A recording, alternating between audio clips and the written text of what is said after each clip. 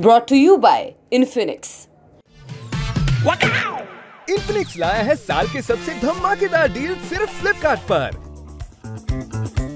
कांग्रेस ने मध्य प्रदेश छत्तीसगढ़ और तेलंगाना विधानसभा चुनाव के लिए अपने उम्मीदवारों की पहली लिस्ट जारी कर दी है। इस लिस्ट में मध्य प्रदेश की 144 सीट छत्तीसगढ़ की 30 सीट और तेलंगाना की 55 सीटों पर उम्मीदवारों की घोषणा की गई है।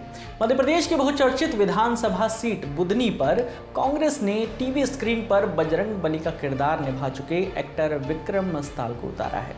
बुधनी विधानसभा सीट जो है, वो मुख्यमंत्री शिवराज सिंह चौहान का गढ़ है।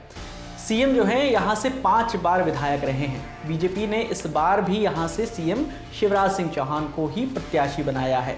इससे पहले जो है, साल 2018 के विधानसभा चुनाव में सीएम शिवराज सिंह चौहान के सामने कांग्रेस के पूर्व पीसीसी चीफ अरुण यादव को मैदान में उतारा गया था, लेकिन वो अट्ठावन वोटों से हार गए।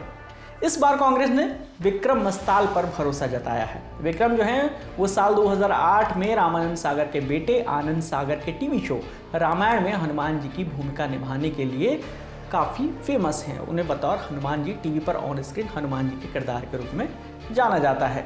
तो हमने जो है विक्रम मस्ताल से बातचीत की। विक्रम ने एक्टिंग छोड़कर राजनीति में आने के पीछे की जो वजह है, उसमें एक प्रमुख वजह बताई कि इलाके में पानी की समस्या थी। इस वजह से वो जो है उन्होंने कांग्रेस पार्टी का दामन थामा। मैं एक्चुअली बताना चाहूँगा कि मैं जो मध्य प्रदेश के सलकनपुर जगह है बुद्धि विधानसभा, वहीं का रहने वाला हूँ।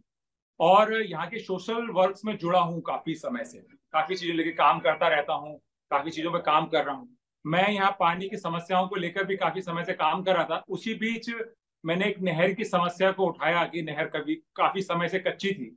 उस विषय में मैंने फ़ोन किया एक सौ इक्यासी पे जो माननीय शिवराज जी की जब मध्यप्रदेश शासन की एक नामचीन हेल्पलाइन है, उस पर कॉल किया तो मेरा नंबर को बंद कर दिया गया। दैट डे आई फील कि भाई ये तो बहुत गलत हो रहा है।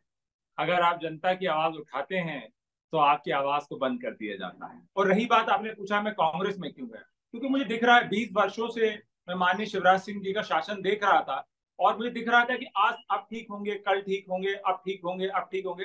पर धरातल में ऐसी परिस्थितियाँ बन गई जो मेरी उम्र के लोग हैं, जो मेरी चालीस साल, इकतालीस साल उम्र हो गई है, जो बीस साल के हमने शिवराज जी को देखा कि भाई एक ही मुख्यमंत्री हमारे क्षेत्र की प्राउड की बात थी कि हम लोग लगे हुए हैं। पर आज हमें अफसोस होता है कि ऐसा मुख्यमंत्री हमको मिला जो हमने चुना जो बीस साल तक प्रदेश का शासक रहा और उसने प्रदेश को कहीं पीछे धकेल दिया। इस बातचीत में विक्रम ने एक आरोप लगाया कि सीएम शिवराज सिंह चौहान ने अपने विधानसभा क्षेत्र में कुछ जगहों के नाम ज़रूर बदले हैं लेकिन कोई बड़ा काम नहीं किया है। मैं विकास जी आपको बताना चाहता हूँ पिछले 20 वर्षों में ऐसी किसी बड़ी सड़क का निर्माण नहीं हुआ यहाँ। कोई ऐसा बड़ा बाईपास बना हो, कोई कॉरिडोर बना हो, कुछ विकास नहीं हुआ है।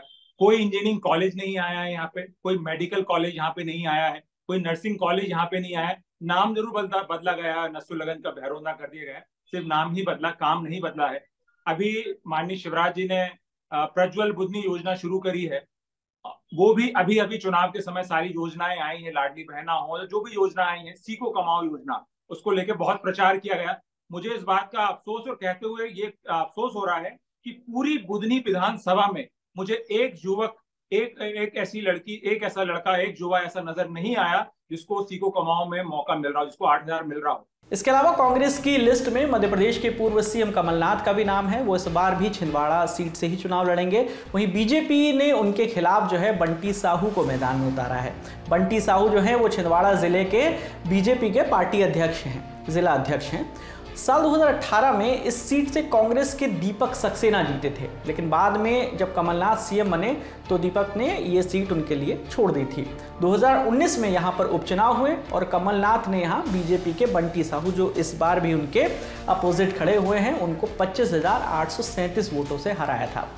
इसके अलावा जो है मध्य प्रदेश के कुछ बड़े नामों की बात करें तो लाहर सीट से जो वर्तमान में सीनियर कांग्रेस लीडर और वर्तमान में जो नेता प्रतिपक्ष हैं, गोविंद सिंह, उनको दोबारा लाहर सीट से उतारा गया है।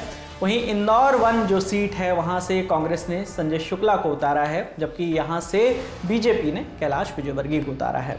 पूर्व मुख्यमंत्री अर्जुन सिंह के बेटे अजय सिंह को कांग्रेस ने चुरहट से टिकट दिया है। जबकि नेता प्रतिपक्ष रहे कांग्रेस विधायक सत्यदेव कटारे के बेटे हेमंत कटारे को अटेर विधानसभा सीट से टिकट मिला है। राज्यसभा सांसद और पूर्व सीएम रहे दिग्विजय सिंह के भाई लक्ष्मण सिंह को चाचौड़ा और उनके बेटे जयवर्धन सिंह को राघोगढ़ से दोबारा टिकट मिला है। अब बात कर लेते हैं छत्तीसगढ़ की। मुख्यमंत्री भूपेश बघेल को उनके दूर के भतीजे विजय बघेल के खिलाफ पाटन से इस बार फिर से टिकट दिया गया है। विजय बघेल जो है, वो वर्तमान में दुर्ग से सांसद भी हैं। पाटन सीट से भूपेश बघेल जो है, साल 2003 से लगातार लड़ते आ रहे हैं। इसी सीट से लगातार वो चुनाव 2003 से जैसा हमने बताया, लड़ते आ रहे हैं। सिर्फ़ 2008 में जो है, वो चुनाव हारे थे विजय बघेल से। और 2013 2018 ये जो दोनों चुनाव हैं, वो वहाँ से वो जीत चुके हैं। इससे पहले 2003 का भी चुनाव वो वहाँ से जीते थे। इसके अलावा बात करें वहाँ पे उप मुख्यमंत्री जो हैं टी एस सिंहदेव, वो जो उनकी पारंपरिक सीट है अंबिकापुर, वो वहीं से चुनाव लड़ रहे हैं और 2008 में वो पहली बार वहाँ से चुनाव लड़े थे और उसके बाद से लगातार वो इस सीट से जीतते हुए जो है जीतते रहे हैं।